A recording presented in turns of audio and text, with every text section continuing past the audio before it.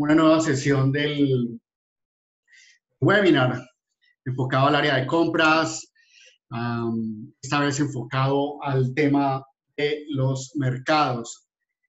Está enfocado básicamente a que veamos desde el área de, procurement, desde el área de logística, cómo, cómo está el mercado de lo que vamos a comprar y cómo está el, el diferente ambiente que hay para que nosotros podamos planear unas compras orientadas pues al tema de ahorro y al tema de mejoramiento de las entregas. De nuevo, de nuevo doy la bienvenida a todos y le agradezco al ICESI número uno, Andrés López, todo el área de ingeniería, grados y pregrados y el área de eh, educación continua. Nosotros eh, tenemos varios módulos con el sistema de compras, este es uno de ellos. El webinar número uno ya lo hicimos con el tema de matriz de aprovisionamiento.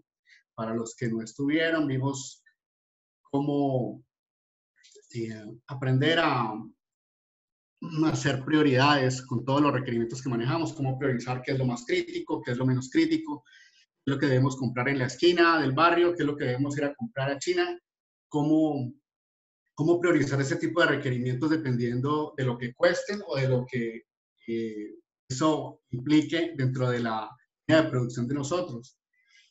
Igualmente, bueno, les agradezco de nuevo, quiero que estén cómodos, que me pregunten si tienen eh, alguna inquietud, algún comentario durante la sesión o durante el, el, tiempo final, donde vamos a poder tener algunas preguntas, si es posible. Eh, la idea es que vamos atendiendo el, el temario, pero también vamos eh, contando experiencias, compartiendo actualizaciones del tema bueno, arrancamos. Bueno, mi nombre, presento otra vez, mi nombre es Fernando Tascón, yo soy ingeniero industrial de la Universidad Javeriana de Cali. Aprovecho para preguntar quiénes están desde fuera de Cali, porque sé que el ICESI ya tiene un alcance nacional.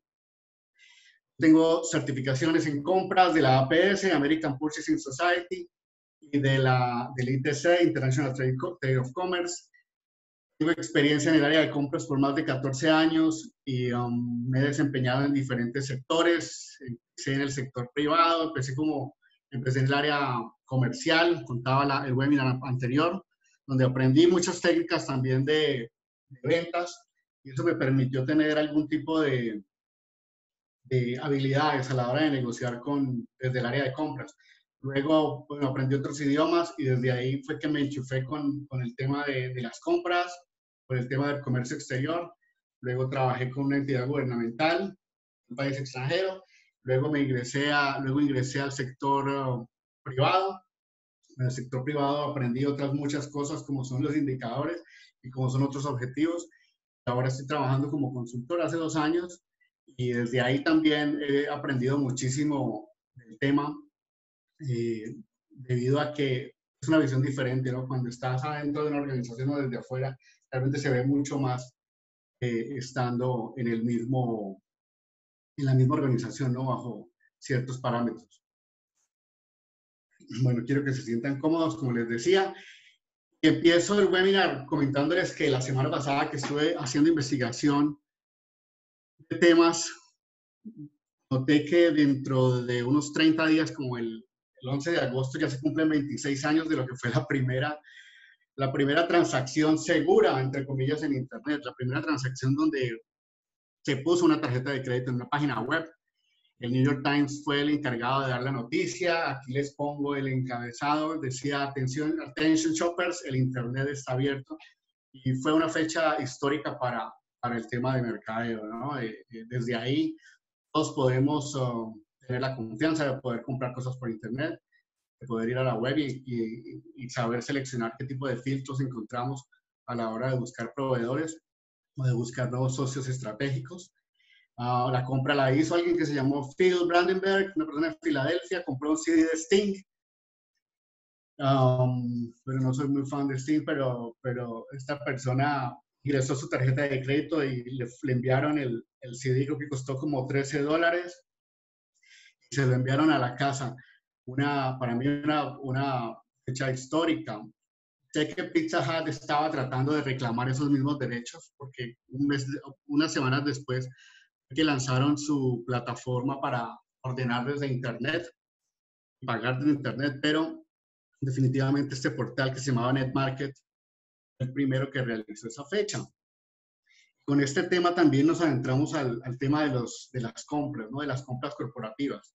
Existen hace mucho tiempo, más o menos desde la década de los 20, ¿no? El, el, gobierno norteamericano empezó a centralizar sus compras en condados, ¿no? Fue cuando empezó a hacer el tema porque hacían grandes gastos a nivel obra civil. Y um, fue cuando el primer departamento de procurement se centralizó por condados. Y empezaron a crear los indicadores de compras, ¿no? ahorros, eficiencia, entregas. Y ahí viene la palabra procurement. A mi juicio, eh, es como deberíamos llamar al departamento de compras. En Latinoamérica normalmente llevamos compras a, al departamento que se encarga de, de, que le pasemos requerimientos, busque tres cotizaciones, compre la más económica y la bendición y que sea de buena calidad. A mí es un concepto erróneo, el concepto de procurement está más involucrado con el tema de cadena de abastecimiento y la idea es motivar a los compradores a que se involucren desde el inicio de la cadena, o sea, desde que el requerimiento está siendo creado, es un servicio, si es un producto, a que el requerimiento, a que el comprador se involucre en las especificaciones técnicas, ya que el, normalmente el comprador conoce el mercado y sabe qué tipo de opciones tiene para poder comprar y otras opciones tiene para, para, para manejar precios o entregas. En el mercado también encontramos descripciones de compras como sourcing. Sourcing también está cobijado bajo el área de procurement, está más orientado el sourcing hacia la búsqueda de proveedores, la búsqueda de nuevas uh, opciones, como su nombre lo indica, no está tan orientado a, de pronto a especificaciones técnicas o a logística, ellos están más pendientes de buscar, de hacer gestión de proveedores, ¿no? de traer proveedores nuevos, mirar el mercado, están súper involucrados con el tema de hoy, con el análisis de mercados, y basados en esos proveedores que van trayendo a hacer el análisis y el, la evaluación de los proveedores. La evaluación de los proveedores uno tiene unos indicadores que te permiten eh, saber si la calidad de los mismos está igual. Y, bueno, el tema de evaluación de proveedores es otro webinar aparte, pero a mí me parece muy interesante porque hay proveedores muy buenos, muy económicos, pero simplemente no facturan bien o no te cotizan a tiempo o no están interesados en darte eh, reclamos en calidad. Entonces, el tema de, de, evaluación de proveedores desde el área de compras y también sé que producción o el área de facturación están muy interesados en que se haga el tema. El usuario final a veces quiere que su producto le llegue de la mejor calidad. Si quiere un carro, quiere que le lleve un BM, pero la compañía a veces no tiene para el BM, no tienes para un Renault. Y, y, eso es lo que el comprador debe tener claro también, ¿no? Los objetivos del aprovisionamiento, lo que quiere la compañía para que compras esté eh, agregando valor del mismo. Category Management es otra categoría que también se maneja desde, desde el área de compras, también lo maneja el área de mercadeo. Ese nombre se le da en logística a el grupo de compras que maneja eh, las compras de ciertas categorías, ya sean directas o indirectas. Como veíamos, las compras indirectas son las que soportan la, el core de la organización. O sea, si tenemos una línea de producción, las compras indirectas son todas las que involucran lo que soporta esa organización, o sea, el área legal, las compras del área legal, las compras de recursos humanos, las compras de mercadeo. Y compras ahora está muy involucrada con el área de mercadeo, ayudándole a seleccionar proveedores, evaluarlos, a negociar con ellos. Y el área, el área directa, ¿no? El área directa de compras sí está metida en la línea, es la que compra la materia prima, es la que eh, negocia los proveedores que influyen directamente en el producto final de la compañía. Y al final, eh, purchasing es simplemente la traducción de compra, se usa mucho también en Estados Unidos para describir las áreas de, de compras, pero son más negociadores y compradores de, de, de corto plazo que, que, un comprador como procurement, ¿no? que está más pendiente también de la producción o de, la planeación de los mismos.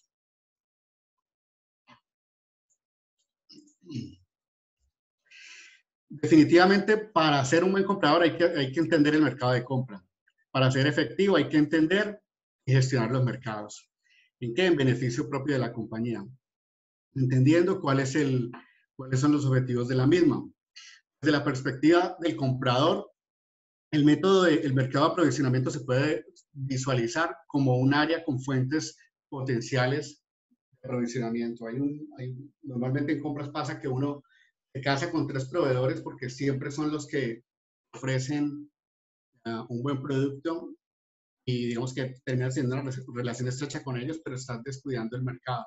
También vamos a tener en cuenta más adelante cómo cada cuánto hay que hacer el estudio de mercado. ¿no? Yo sugiero que haciendo el análisis de aprovisionamiento, perdón, la matriz de aprovisionamiento, definamos la frecuencia con la que necesitamos hacer el estudio de mercado. ¿no? es lo mismo hacer el estudio de mercado para un motor de un avión que para la papelería. ¿no? La papelería se puede hacer el estudio cada año, no te involucra tanto, pero si estás haciendo compras para aviones, seguramente el motor reparas cada seis meses o cada año por uh, regulaciones obligatorias. Vas a tratar de buscar diferentes eh, proveedores en el mercado que te den productos uh, similares y a mejor precio, ¿no? Cualquier 5% o cualquier 1% la reparación de una compra de un artículo de estos va a generar un ahorro en el área de compras que va a subir los KPIs eh, de manera sustancial, ¿no? Ahí estaba lo del Pareto que veíamos también en el webinar pasado. Uh, con el Pareto identificamos esos, esos, um, esas compras costosas donde podemos atacar duro, mirar el mercado, saber la competencia para poder eh, eh, pegarle duro a ese, a ese número que es eh, los ahorros, ¿no? que es un KPI muy, muy, típico en compras junto con entregas. Bueno, ahora hay muchos KPIs, pero los básicos normalmente son ahorros, eh, entregas y satisfacción del cliente. Hay un cuarto que es ah, el alcance que tiene compras dentro de la organización.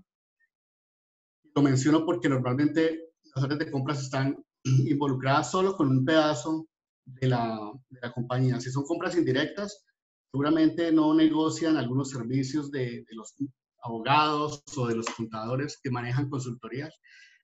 Pero la idea es que compras cada vez vaya formando parte del 100% de las compras de la compañía. Yo diría hasta poder negociar los, uh, los, sí, los, servicios eh, legales o los servicios de consultoría que no son nada fáciles de, de entender, ¿no? Normalmente los contratan los abogados um, sabiendo que X o Y abogado es un especialista en este tema y es un muy buen proveedor, pero desde el área de compras es, parece costosísimo y hay otros dos en el mercado que te parecen más económicos, entonces es otro KPI y diría que es el cuarto, es poder llegar a esas áreas donde, donde los usuarios internos se sienten casi que intocables, porque ellos son los que conocen el mercado. Entonces, el cuarto KPI sería poder acaparar esas compras y que ese presupuesto ingrese a ser parte del presupuesto que compras maneja. El análisis de compra a veces está subestimado. ¿eh? algunos compradores lo miran como de reojo, como que esto no me da mucha utilidad eh, porque estoy en el día a día metido, porque tengo que preocuparme de que entreguemos rápidamente este pedido, de que le llegue esto rápido a la gente en Bogotá o en Barranquilla, donde esté mi usuario interno, pero es un, es un tema que hay que tener la, hacer la pausa para poder hacerlo, como les digo, al menos cada tres meses o cada seis meses, de acuerdo al, al artículo que vamos a comprar y no mirarlo como, como tan de reojo, sería mi, mi sugerencia, ¿no? Los análisis de mercado, como cualquier análisis, identifican las características del mismo, ¿no? Y definen las diferentes posiciones de quienes intervienen en él. El análisis que nos va a ayudar a entender qué productos están disponibles y cuáles satisfacen nuestros requerimientos, qué hay en el mercado diferente a lo que compramos.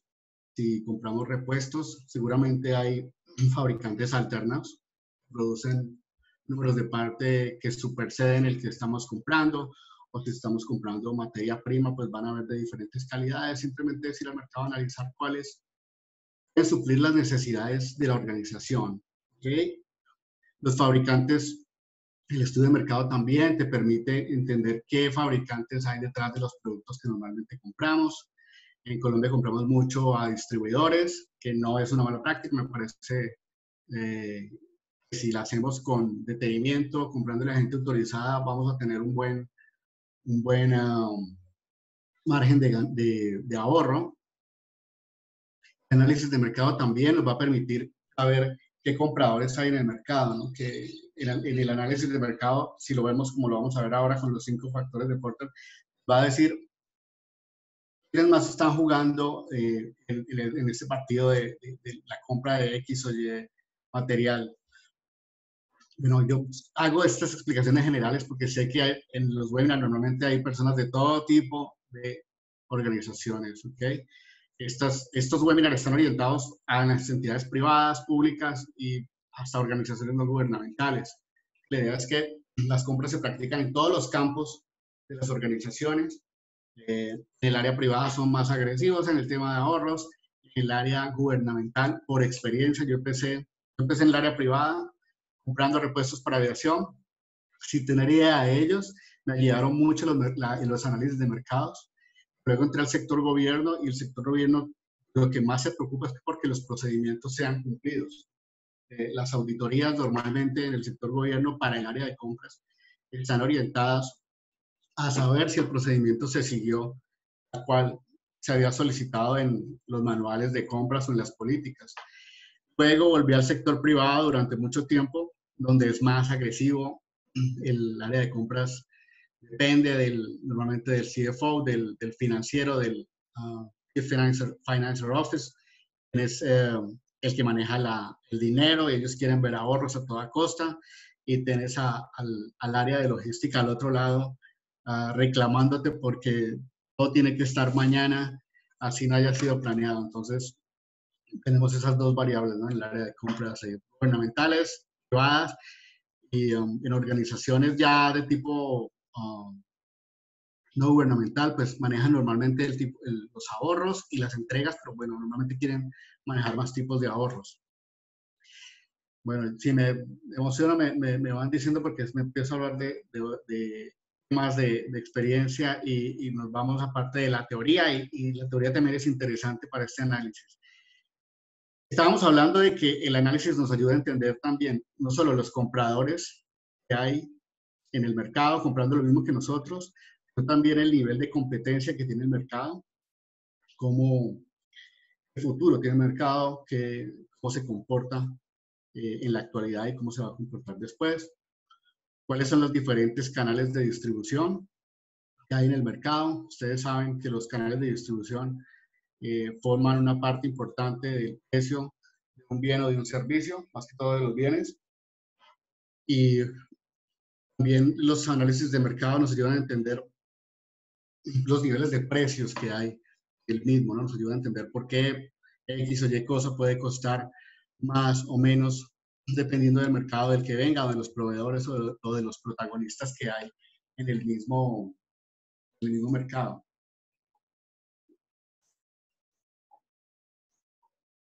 cuando yo, cuando, como les contaba, cuando empecé en el tema de compras, empecé comprando repuestos para aviación y yo no tenía ni idea de, de un avión. Me contrataron porque sabía otro idioma y porque conocía el mercado americano. Entonces, lo primero que hice fue hacer análisis de mercado. Miramos las aeronaves que íbamos a manejar. Manejábamos aeronaves, suplíamos partes y repuestos para aeronaves de la Policía Colombiana, Policía Antinarcóticos, manejan en su mayoría helicópteros, Black Hawk y Bell, y manejan algunas aeronaves de transporte y algunos aviones de inteligencia. Y lo que hicimos fue dividir el mercado por uh, categorías de aeronaves. Hubo, una lluvia de ideas, unos decían que lo dividiéramos por alas, um, por, perdón, por país de origen, en fin, hubo diferentes propuestas en, la lluvia de ideas, pero finalmente lo que definimos, el mercado 95% era americano, entonces lo que definimos fue fabricante de la aeronave, bueno, a la fija o a la rotatoria. A la fija son los aviones que, a la fija, como su nombre lo indica, los, los aeroplanos. Y las uh, a la rotatoria son los uh, helicópteros. Hicimos el análisis por fabricante y empezamos a investigar distribuidores en Colombia y distribuidores por fuera. Obviamente encontramos que por fuera era más económico, estaba más uh, desarrollado el mercado. Luego nos encontramos con un montón de, sorpresas a nivel de compradores, era un mercado gigante. Conocimos colegas muy, muy, nos ayudaron muchísimo, los proveedores también estuvieron dándonos la mano y, y bueno, en, en, un año estábamos hechos unos especialistas en, no solo en compras, sino en reparaciones con aeronaves. Y es parte de lo que, de lo que hago consultoría hoy en día y es, ese tema de, de, aviación, de reparación y, partes para, para, helicópteros y aviones. Es un mercado, la mayoría de aeronaves en Colombia vienen de Estados Unidos y en Estados Unidos se mueve muchísimo el tema de la aviación. Y en Colombia también, aunque uno no se entera, ¿no? No solo la, aviación comercial está presente, la aviación militar y la aviación privada, y en Colombia la aviación de tipo corporativo mueven mucho dinero en temas de repuestos, en temas de gasolina, de combustibles, en temas de servicios, y es un mercado grandísimo. Eh, también diría uno, bueno, mueve gigantes cantidades de dinero, pero, pero los, um, no cuesta en aviación, porque todo tiene que ser muy medido.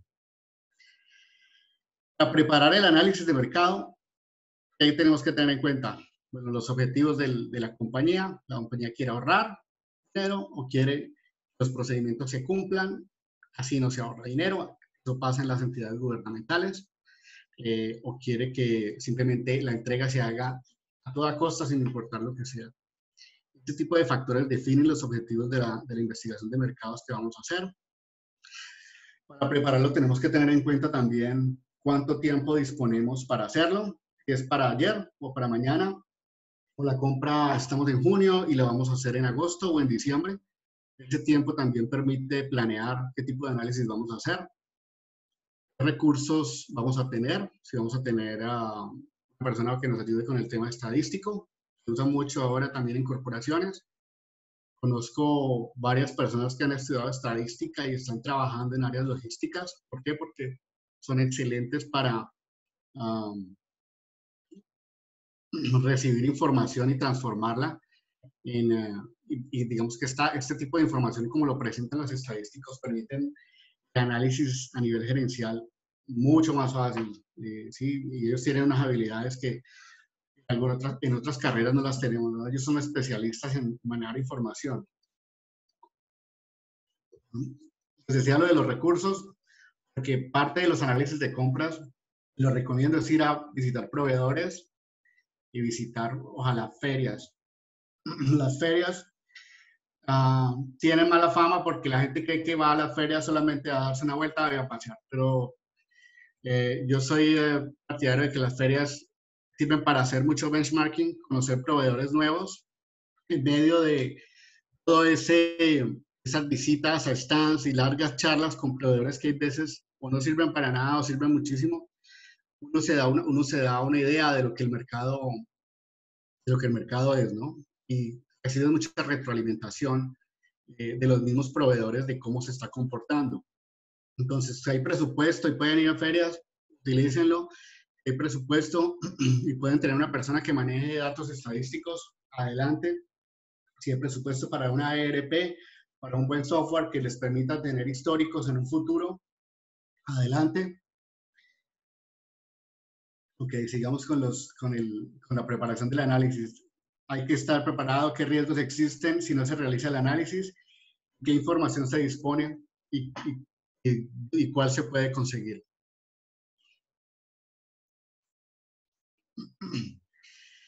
Como les decía, de acuerdo a la matriz de aprovisionamiento que vimos en el webinar anterior para definir las prioridades a la hora de hacer estrategias para los 2.000 o 5.000 eh, elementos que compramos o servicios y elementos que compramos, en este, yo hago énfasis en análisis, análisis de mercado con eh, el modelo Porter. Bueno, el modelo Porter es un modelo muy, muy conocido en el tema de ventas y de mercadeo.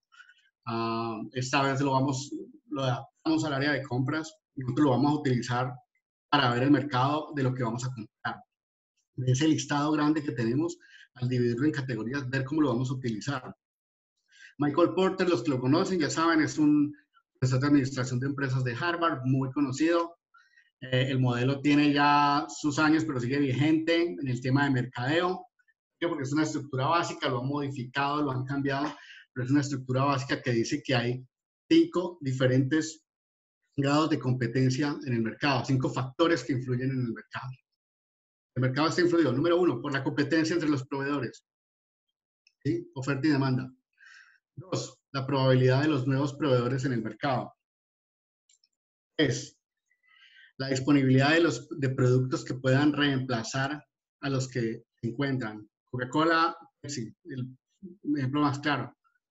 Cuarto, cuarto factor que influye en el grado de competencia, el poder de negociación de los proveedores. ¿Qué, poder tienen ellos para negociar con, sus, con sus proveedores? Eso puede definir que un producto sea costoso o no. Ustedes lo saben muy bien desde compras. El poder, y el quinto, el poder de negociación de los compradores, de nuestros colegas de compras. Este modelo normalmente ayuda a saber qué potentes son o no los proveedores en el mercado. No va a determinar con este modelo la influencia que tiene la compañía nuestra organización con relación al mercado. Nos va a situar qué tal estamos nosotros con nuestra billetera en el mercado al salir a comprar. Nadie llega a un mercado y está todo listo, ¿no? Es como cuando uno cae en un paracaídas a comprar eh, al mercado, ¿no? Si te piden, ah, estás en el área de compras, necesitas comprar un repuesto para una máquina que es la que fabrica el producto final en tu compañía y el, el presupuesto son 500 mil dólares, ok, ese necesita un análisis de mercado que va a adicionar valor. No se puede salir a comprar las tres cotizaciones. El análisis, teniendo en cuenta estos cinco factores, te va a dar una idea de cómo se comporta.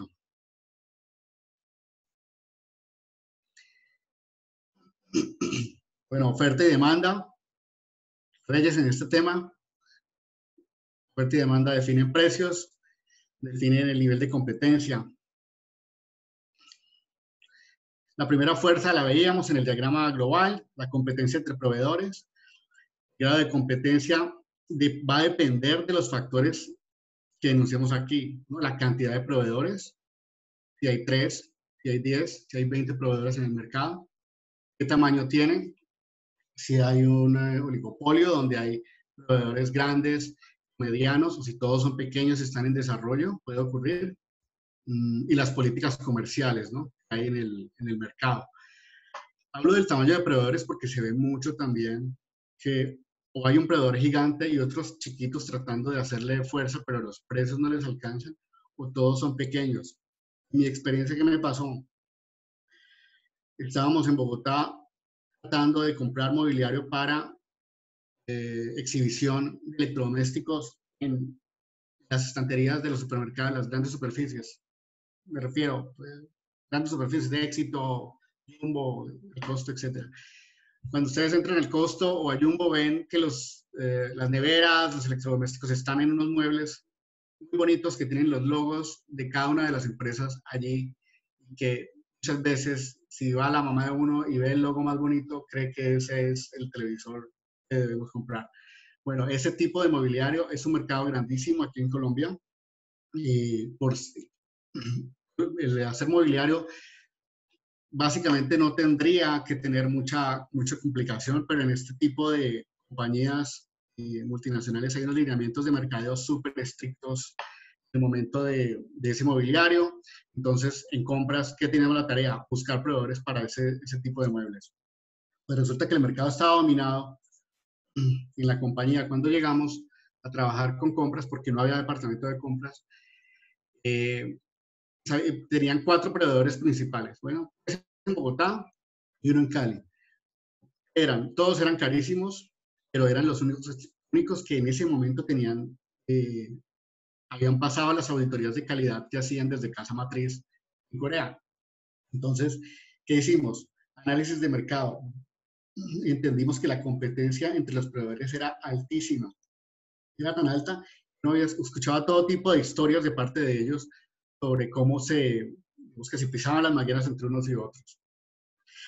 Eh, encontramos que había proveedores muy pequeños con diseñadores colombianos eh, de un gran conocimiento que podían diseñar los muebles. Ellos no se encontraban, eran diseñadores, pero no tenían, eh, digamos que la competencia de sus compradores para tener materiales bien negociados. Bueno, entendimos el mercado de una forma que, que en Colombia encontramos posiblemente, habían 45 opciones de nuevos proveedores, comenzando, hicimos 15 y al final licitamos con esos 15 y salieron otros 5 adicionales. La mayoría eran en Bogotá, uno en Medellín y el último fue en Barranquilla. y digamos que eso ayudó muchísimo porque dejamos de depender de los viejos proveedores que nos tenían exprimidos con los precios y con las entregas cuando ellos quisieran. Entraron cinco proveedores súper, súper eh, motivados por trabajar con nosotros. Se acondicionaron a los, a los políticas de pago que eran bastante, eh, bueno, eran bastante flexibles en ese momento. Trabajábamos con compras, con finanzas para que fueran más flexibles con esos pagos, más que todo con los proveedores nuevos logramos que, bueno, logramos tener proveedor, por ejemplo, local en Barranquilla, que el envío a Barranquilla, si fuera desde Bogotá, desde Cali, con un mobiliario tan delicado y la armada ya costaba bastante, pues subía muchísimo el precio, ¿no? Normalmente cotizaban los muebles y al final hay un rubro gigante que era instalación y transporte. Ese rubro, ese rubro lo, lo, logramos quitar y um, eran compras mensuales de más o menos 500 millones de pesos eh, multiplíquenlo por 12 y logramos hacer un ahorro como del 5% sobre eso al inicio, eh, digo los primeros 6 meses y a los 10 meses los ahorros globales los hicimos como del 11. Bueno, fue una experiencia interesante, pero la cuento porque conocimos la competencia entre los proveedores, ¿no? nos metimos como en la entraña de, del negocio y una vez arrancamos con esos 10 proveedores, los 5 iniciales más los 5 finales, eh, ya la máquina anduvo sola. Era cuestión de gestión de proveedores. La segunda fuerza del mercado, la probabilidad del ingreso de nuevos proveedores en el mercado. Esto confirma lo que les acabo de decir.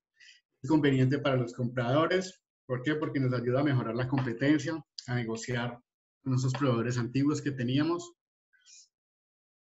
La tercera fuerza, productos sustitutivos o sustitutos en el tema del mobiliario que les conté, nos ofrecieron materiales nuevos, eh, sí, pinturas nuevas, pero había ciertos lineamientos de casa matriz, donde cada tornillo eh, tenía que ser como decían los lineamientos de mercado de casa matriz, que no había posibilidad de hacer, de hacer productos sustitutos.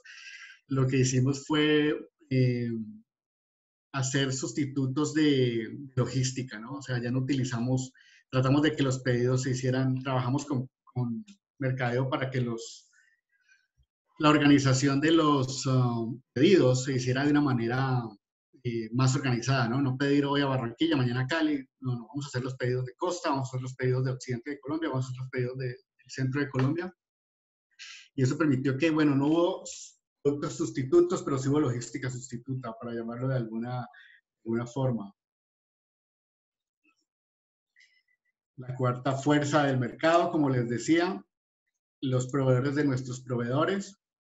Eso, hacer, el análisis o investigar a quiénes le están comprando a nuestros proveedores, también agrega valor. Nosotros podemos desde compras eh, sugerir. Nosotros conocemos el mercado, a quién le están comprando, a cómo le están comprando. Este tipo de, de análisis agregar mucho valor a la compra final. Uh, si, sabemos también qué tipo de compradores están usando nuestros proveedores.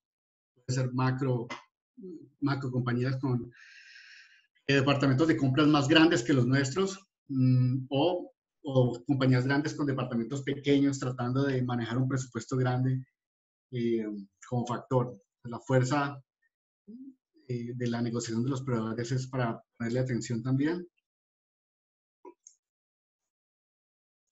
Y la quinta y última fuerza, según Porter, es el poder de negociación de los colegas de compras. O sea, no, no solamente el departamento de nosotros, sino los departamentos adjuntos, ¿no? Los, la competencia, quién le está comprando. Y normalmente hay, uh, si hay unos cuatro o cinco competidores o 20, bueno, los, el número que haya, saber ellos a quién le están comprando, a cómo están comprando, y dónde están haciendo ellos el análisis del mercado.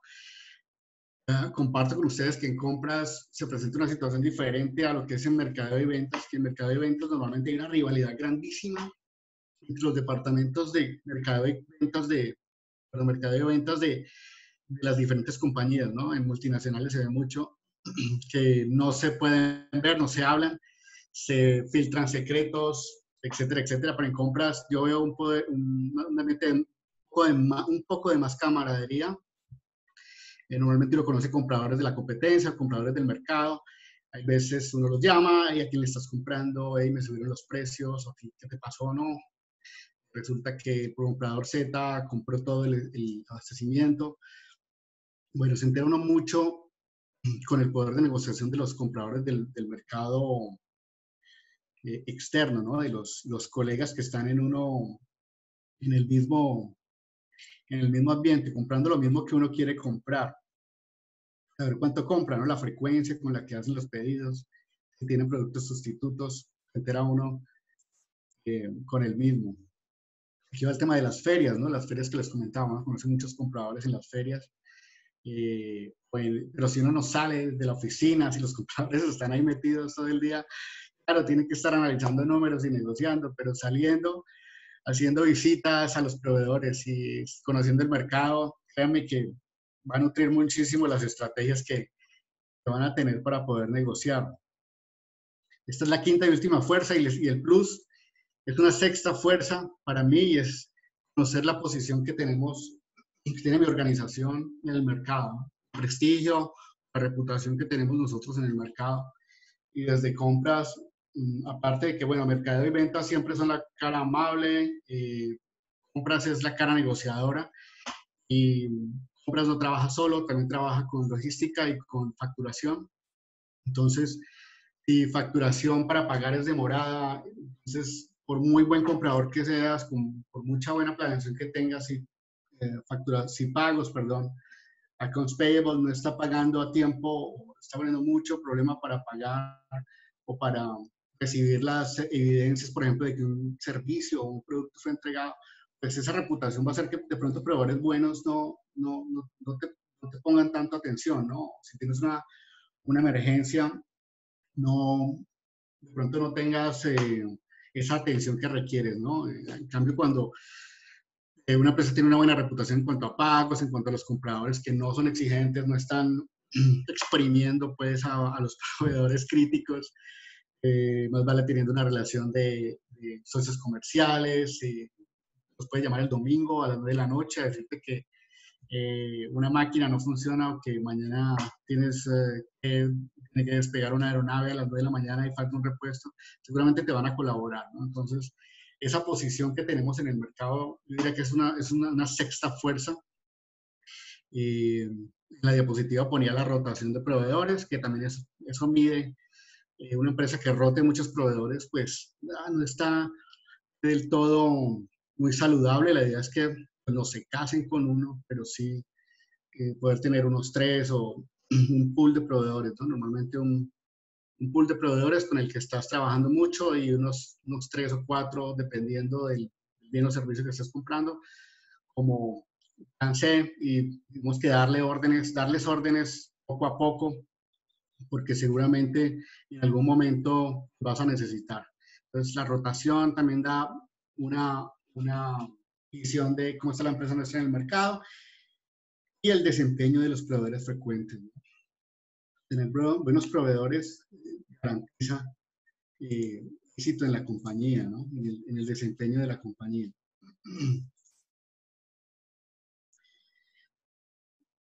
Oferta y demanda en el mercado. Normalmente en el mercado, como les comentaba.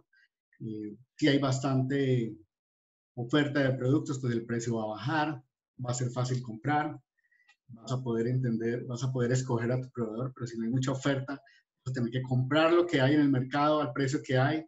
Y si la calidad o la entrega no está bien, pues vas a tener que estar um, sujeto a eso. Entonces, la ideal es que haya un mercado competitivo. Ahora hay legislaturas para eso están, eh, los carteles están prohibidos, carteles de, productos, así como hace, hace, algunos años. El mercado tiene que ser competitivo lo más que se pueda. Eh, y es competitivo como cito aquí, cuando ningún comprador o vendedor tiene una porción tan grande del mercado que puede influir en los precios, o sea, cuando hay un monopolio o en los niveles del negocio, y donde compradores o vendedores no han unido fuerzas los carteles, diría yo, o algún tipo de acuerdo al que lleguen, o han unido fuerzas para alcanzar acuerdos sobre las condiciones de venta.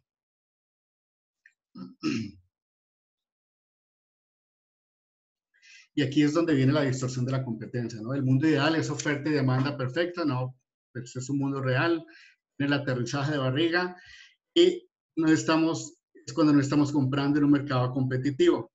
Puede que estemos en una situación de distorsión de la competencia. Revisen las compras que están haciendo y seguramente van a encontrar ahí distorsiones de la competencia. Las cuatro más conocidas son el monopolio. Un ejemplo que compras no negocia los recibos de los servicios públicos porque es un monopolio. Hay un montón de dinero ahí para ahorrar, para negociar, pero están monopolizados. Solamente hay un proveedor. Es, di un ejemplo muy grande, ¿no? Pero sucede mucho en las compañías con servicios y productos, en las organizaciones. ¿Qué hacer para, para primero que todo, evitar los monopolios a toda costa, ¿no?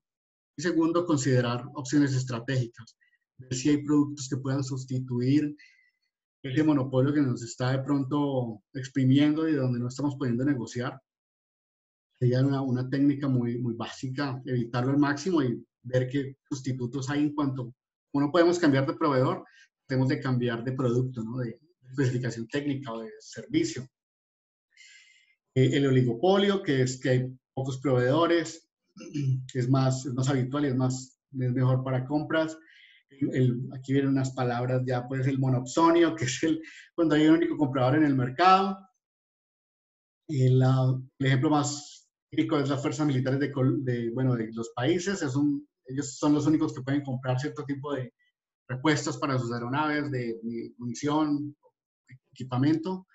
Eh, y por, por último, el oligopsonio, que es cuando algunos pocos compradores dominan el mercado. Y es muy conocido el oligopsonio en el mercado.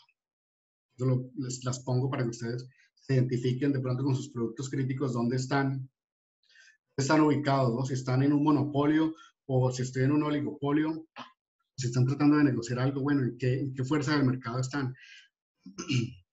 Y este es un cuadro que los invito a que lo hagan con, con sus elementos críticos o lo que van a a negociarlo, a lo que le van a hacer el análisis de mercado, es una comparación entre tres diferentes requerimientos eh, recibidos en compras, los guantes de látex, que son económicos y ya se consiguen en todas partes, las camionetas y la electricidad como monopolio. Es un, paralelo en las tres. Quiero hacer énfasis en la, en la información que manejamos para analizar el mercado obviamente usamos el Internet en el 80% de las, los casos, pero digo que para, hay dos tipos de mercado, el mercado local y el mercado internacional. Para el mercado internacional el Internet es muy útil. Ya les voy a mostrar uh, un par de herramientas que son muy, muy útiles para el tema. Y para el mercado local, ¿yo qué sugiero? Muchas veces uno necesita comprar cosas en su ciudad, o si no es, una ciudad intermedia o grande o pequeña, pero en el mercado local no está todo en Internet. Entonces, ¿Cuál es la mejor opción? Bueno, las publicaciones especializadas, los periódicos, las revistas. Si vas a buscar en Internet, eh, perdón, una macro búsqueda, decirte a Arriba o a Google, bueno, ya vas a encontrar cosas. Pero el mercado local va a tocar ir a los periódicos o las revistas. Quiero ir a las cámaras de comercio. Las cámaras de comercio son una gran ayuda en cada una de las ciudades. Ahí están, ellos promueven que haya competencia en el mercado. Normalmente está, hay pequeños productores que te pueden ayudar con requerimientos básicos, ¿no? Experiencia, por ejemplo, con, cuando, cuando vendíamos, cuando trabajaba, trabajamos con la compañía de electrodomésticos, realmente nos mandaban a comprar unas mangueras para una lavadora en Corea, en China, perdón. Y encontramos un proveedor en Barranquilla que podía fabricarla, un proveedor pequeño. Lo desarrollamos, comprábamos casi un, yo diría un 70% más económico. Y no solo se ve beneficiar a la compañía, lo pusimos como una, una de las mejores prácticas del año, sino que también, bueno, desarrollamos un proveedor que igual de bueno que en el extranjero, pero nos tenía, nos dio una oportunidad de, de mejorar. Proveedores de fuentes de información para análisis de mercados, otras son las asociaciones de comercio, como les decía, cámaras de comercio. Ahora están muy fuertes las asociaciones de compras y de suministro, locales o nacionales y también por fuera, ellas son las que dan las certificaciones, de las que hablé al principio, tienen mucha información, ahí hay colegas con quien hablar, con quien compartir información. No solo el Internet, representantes oficiales de comercio exterior, el gobierno tiene una entidad que se encarga de eso, ayudar a la gente a que pueda eh, exportar los productos que pueda encontrar las embajadas, perdón, hay, hay departamentos que se encargan de, promover servicios de los otros países, ahí puedes encontrar eh, información para el análisis. Las organizaciones internacionales, los proveedores, son una fuente de información gigante para los análisis de mercado. Eh, bueno, está, bien tener una, buena relación con ellos para poderles preguntar qué tal está el mercado y qué, nuevo hay. Las, ah, las organizaciones de servicios, los bancos, bueno, uno se entera con reportes de financieros cómo están las compañías, te da una percepción del mercado. Las ferias, como les decía, muy útiles. Las empresas de consultoría, nosotros, por supuesto, tenemos toda la experiencia para poderla aplicar a los estudios de mercado de las compañías clientes. Las universidades siempre están investigando y ahí hay gente muy curiosa haciendo investigación los departamentos de compras y el personal de la empresa interno. Muchas veces el mercado lo conoce muy bien, el cliente interno que nos está pidiendo este producto o servicio. Antes de salir a negociar o a, buscar el requerimiento, pues habla con el cliente interno. En mercado y en ventas también saben el mercado. Muchas veces estas personas vienen de compañías que trabajan, de otras compañías y conocen el mercado de lo que vas a comprar. Entonces, es una opción muy grande de, de poder recibir información producción y marketing. Les quería comentar en el momento de, fuentes de información un tip también muy interesante y es, eh, bueno, está Google, pero el problema con la información es que hay demasiada, ¿no? Entonces hay que saberla clasificar. Eh, encontrar fuentes fidedignas, ¿no? Fuentes que reliable, se dice en inglés, y es que, que puedas confiar en ellas. Ahora hay una herramienta muy, muy valiosa en el mercado internacional y es y está abierta la situación del COVID y es de SAP. SAP arriba tiene un módulo para mí es de los más completos para hacer procesos de compras. Eh, las organizaciones que pueden tener acceso a SAP arriba son afortunadas porque son bastante costosos, pero es una herramienta gigante. Permite tener trazabilidades de que tienes el requerimiento eh, hasta que compra lo recibe, se hace todo el, toda la licitación a través de SAP. Eh, el proveedor ingresa los precios, eh, ingresa la documentación, elimina totalmente los correos electrónicos. La, toda la licitación queda subida en el sistema. La negociación se hace a través de un proceso. Hay que hacer un curso para aprender a manejar SAP arriba. Y hay un punto donde cuando tú vas a salir a licitar, yo, he manejado SAP arriba, eh, te dice que si quieres ir al mercado de SAP a buscar proveedores, y ese servicio se llama SAP Discovery. Normalmente tiene un precio y está incluido en el módulo de compras, pero les cuento el tip para los curiosos que quieran ir, está abierto por el, imagino que es por el tema del COVID. Eh, aquí les pongo la web, es um, service.ariba.com, discover, slash discovery. Eh, entran ahí, ponen el, commodity, lo que quieran comprar, en City, ponen el tipo de la ciudad donde van a comprar y le dan buscar. A ver si puedo compartir este tema con ustedes. Del mismo, lo voy a compartir aquí. Y si pueden ver la pantalla, pueden ver ahí la, Pueden ver ahí la pantalla. Ok, entran a la página. Esta es la dirección web. Entran aquí. Aquí hay un menú donde pueden ver todo lo que puedan comprar. Ahí pueden hacer un análisis de mercado gigante. Es mundial. Ahora está free to post, o sea, gratis para poner, gratis para responder. Aquí ponen el mercado, por ejemplo, ponen sugar. Si quieren comprar azúcar como, como, como una materia prima. Location. Si están en Cali, pongan Valle del Cauca porque está por, uh, por um, departamento, está por ciudad, dan search, les va, a ir, les va a ir llevando a través de unos pasos que les va a permitir hacer un bill. Súper interesante. Les dejo ese, ese tip para que lo, lo usen los curiosos más tarde desde la casa. y, ah, Ahí van a poder encontrar los que estén haciendo compras, hacer una investigación de mercado bastante curiosa. En compras también les voy a dar dato que de pronto muchos conocen, pero si no lo conocen, pues me gustaría que lo conocieran. Es Amazon Business. Amazon, ya todos sabemos, es el número uno en comercio electrónico.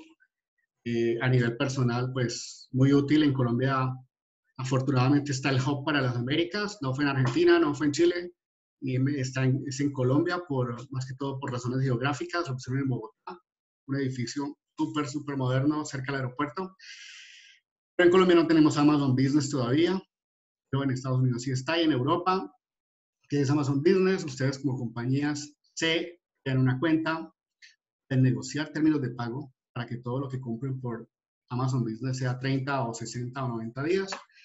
Entran ahí y se buscan los, lo que van a comprar, ¿no? Entonces, normalmente las compañías empiezan comprando papelería, insumos, al final eh, van a poder, eh, al final, digamos, al final, no, en este momento ya puedes comprar todo tipo de cosas, o sea, hay cosas, hay materiales, eh, lo que hizo Amazon también es poner como un marketplace como el de SAP, para que todos los proveedores entren ahí y puedan, puedan ser encontrados, ¿no? no solo de cosas pequeñas, o sea, Amazon Business no está orientado a comprar computadores, bueno, te pueden comprar computadores, pero no está orientado a comprar zapatos y ese tipo de cosas personales, sino está orientado a negocios.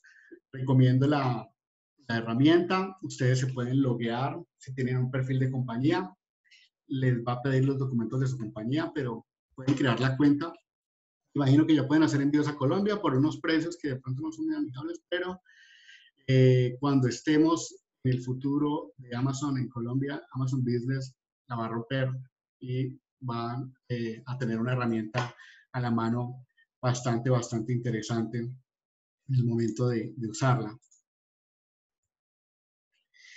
Estamos en el tiempo para de pronto, Oscar, hacer alguna pregunta o alguna anotación y paso a agradecerles ¿no? también la, atención de estos, estos 60 minutos donde tratamos de, empacar eh, mucha información y muchas experiencias, pero, pero bueno, lo hacemos con, mucho, con mucha motivación.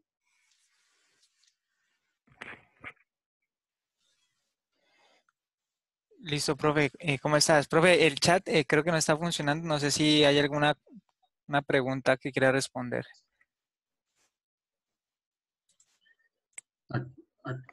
Puedes activarlo y, las, y miramos las preguntas. Sí, eh, por favor, que si pueden levantar la mano para que puedan eh, activar el audio y hablar.